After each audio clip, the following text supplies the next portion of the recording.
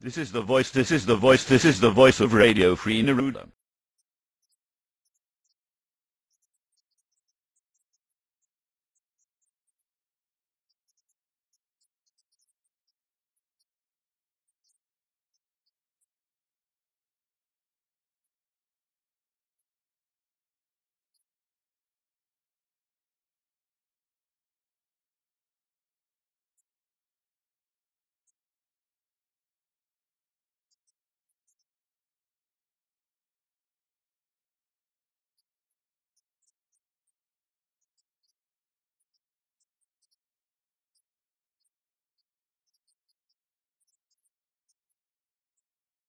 The proceeding was brought to you by the makers at Golematic. Bright Lies for Dark Truths.